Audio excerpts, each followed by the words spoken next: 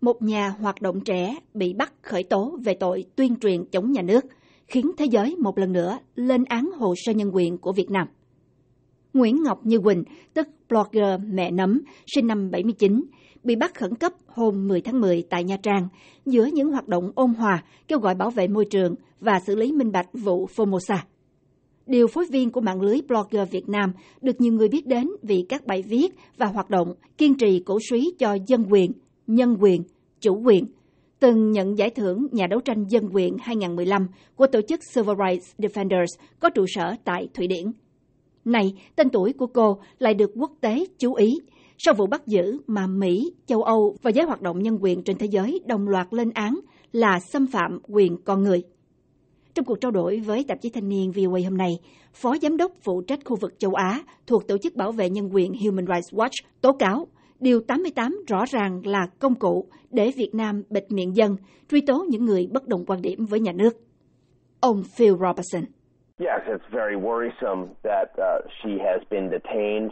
Uh, they're again using Article 88. Thật hết sức quan ngại, một lần nữa họ là dùng Điều 88, điều luật hoàn toàn xâm phạm quyền tự do bày tỏ quan điểm, để tìm cách kiểm soát bất kỳ quan điểm nào mà họ không thích.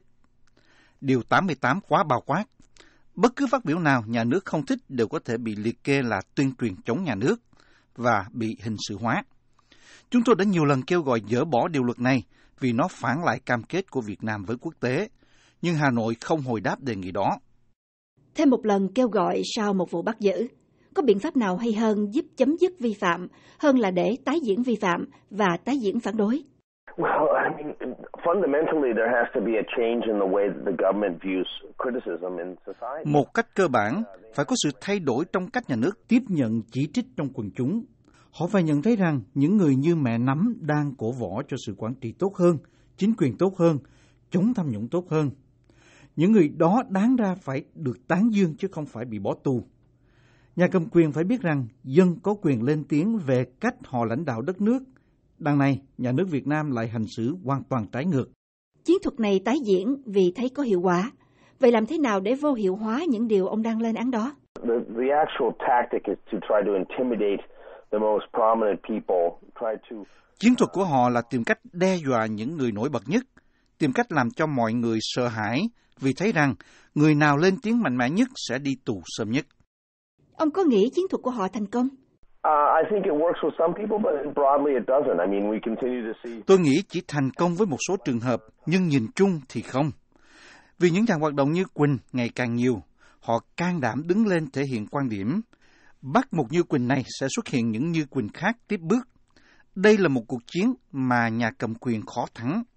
Vì vậy chính phủ Việt Nam nên thay đổi chiến thuật, nên nhận ra rằng quyền tự do bày tỏ quan điểm không phải là kẻ thù mà là yếu tố giúp cải thiện cách quản trị Việt Nam.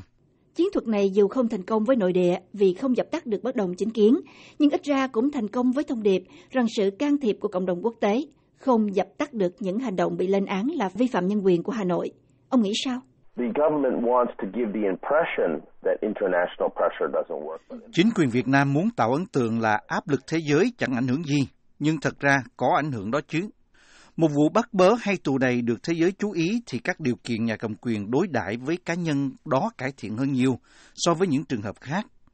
Chúng tôi tin rằng với áp lực của quốc tế, Việt Nam kiểu gì cũng phải hồi đáp, chỉ là họ không muốn để thấy là họ hồi đáp trực tiếp. Trong nội bộ guồng máy cầm quyền Việt Nam cũng có nhiều quan ngại về hình ảnh của chính họ, về đồng minh nào họ muốn có. Đôi khi những điều này được thể hiện qua cách họ xử lý từng trường hợp, đặc biệt là những trường hợp có các chiến dịch vận động. Các nhà hoạt động và bất đồng chính kiến cũng nhìn thấy điều này, cho nên họ vươn ra với cộng đồng thế giới ngày một nhiều hơn. Họ hiểu rằng nếu thế giới lưu ý và lên tiếng về trường hợp của họ, thì họ có được sự bảo vệ trước những đòn trả thù của nhà nước Việt Nam. Hơn nữa đã có một vài cải tổ trong một số lĩnh vực mà Hà Nội đánh giá là ít nhạy cảm, dù vẫn là một tiến trình chậm chạp. Tóm lại, nếu không có áp lực thì chẳng có gì buộc họ phải cải thiện, cải tổ cả. Như ông nói, dù có những áp lực nhưng tiến trình vẫn còn chậm chạp.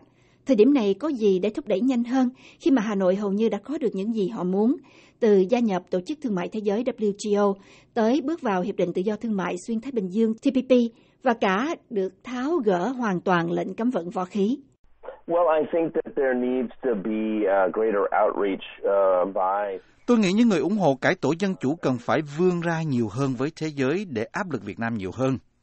Các tổ chức bảo vệ nhân quyền như chúng tôi sẽ nêu lên các trường hợp cụ thể và các vấn đề hệ thống tại Việt Nam. Nhưng rốt cuộc, bất kỳ sự thay đổi nào cũng phải xuất phát ngay từ bên trong Việt Nam. Người Việt Nam trong và ngoài nước phải đòi hỏi nhiều hơn nơi chính phủ Việt Nam để Việt Nam phát triển về cả mặt xã hội lẫn chính trị. Nhà nước Việt Nam đã thông qua một số công ước nhân quyền quan trọng, trong đó có công ước Liên Hiệp Quốc về các quyền dân sự và chính trị của công dân. Cho nên cần phải tiếp tục những áp lực cả trong lẫn ngoài nước Việt Nam để thu hẹp khoảng cách giữa lời nói và hành động của Hà Nội về dân chủ và nhân quyền. Hiện giờ có đòn bẩy nào hữu hiệu thưa ông? there's the, the diplomatic pressure. And Áp lực ngoại giao và áp lực kinh tế liên hệ với mậu dịch. Nếu TPP được xúc tiến, sẽ có những cải cách về lĩnh vực lao động tại Việt Nam. Các định chế tài chính trên thế giới như Ngân hàng Thế giới và Ngân hàng Phát triển châu Á, trong các dự án của họ tại Việt Nam phải nỗ lực hơn để đảm bảo có một sự quản trị tốt và tôn trọng nhân quyền tại Việt Nam. Họ chưa làm được như thế. Hơn nữa, đội ngũ phụ trách các nước trong Liên Hiệp Quốc phải thực sự tăng cường nỗ lực. Thường các vấn đề về nhân quyền của các nước hay bị bỏ qua một bên để dễ dàng cho nghị trình làm việc của Liên Hiệp Quốc. Nhưng theo tôi, phát triển quốc tế và nhân quyền quốc tế phải song hành với nhau.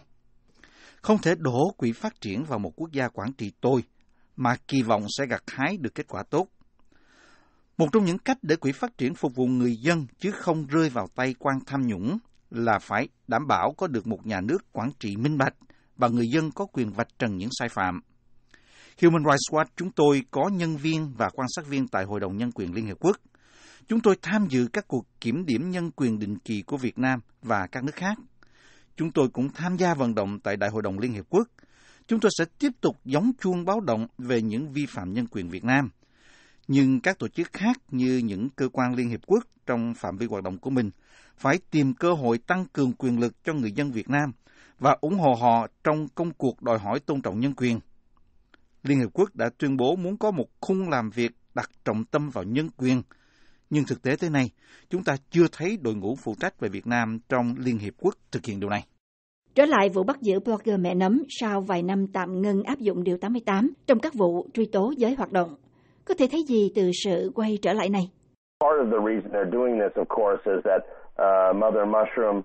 Uh, Mẹ nấm bị bắt một phần là vì đã mạnh mẽ chỉ trích vụ bê bối ô nhiễm môi trường liên quan đến Formosa. Mức độ công ty Formosa xả thải độc ra biển rõ ràng cho thấy họ yên tâm là đã có sự bảo vệ từ trên cao. Blogger mẹ nắm chất vấn và nêu vấn đề mà nhà nước Việt Nam xem là nhạy cảm vì nhà nước có liên quan trong vụ này.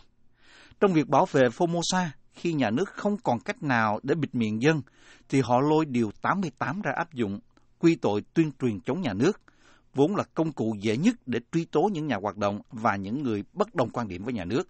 Blogger mẹ nấm bị bắt không vì cổ suý đa đảng hay là có hoạt động đảng phái chính trị, mà vì các hoạt động xã hội trong đó có bảo vệ môi trường, khiến có ý kiến cho rằng đây là một sự khủng bố của nhà nước, vì chỉ cần có ý kiến trái ngược là bị nhắm mục tiêu. Ý kiến ông ra sao? when you talk about state terrorism, I think that's a little bit extreme. What we're talking about is state dictatorship. Nói vậy thì hơi quá. Vấn đề ở đây là sự độc tài của nhà nước. Một nhà nước lạm dụng quyền hành của mình để buộc người ta không được thắc mắc về lời lẽ hành động của nhà nước. Người dân có quyền chỉ trích, có quyền đòi hỏi thay đổi, miễn là họ đòi hỏi một cách ôn hòa. Nhưng nghịch lý ở chỗ, những người đi đầu, những nhà hoạt động như mẹ nấm lại bị biến thành tội phạm. Đó là điều chúng tôi quan tâm. Vậy Human Rights Watch muốn gửi thông điệp gì tới người dân Việt Nam và nhà nước Việt Nam?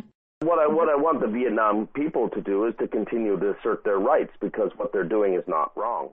Chúng tôi muốn người dân Việt Nam tiếp tục khẳng định quyền của mình vì những gì họ đang làm không sai trái. Họ có quyền biểu tình, quyền tiếp cận thông tin và bày tỏ quan điểm trái chiều với nhà nước. Nhà nước Việt Nam phải lắng nghe thay vì đàn áp. Họ phải nhận ra rằng những người lên tiếng bất đồng với nhà nước không phải là kẻ thù của nhà nước. Không một nhóm nào được độc quyền cho mình là chân lý, là sự thật. Mọi người phải cùng làm việc, cùng lắng nghe để đưa đất nước phát triển văn minh.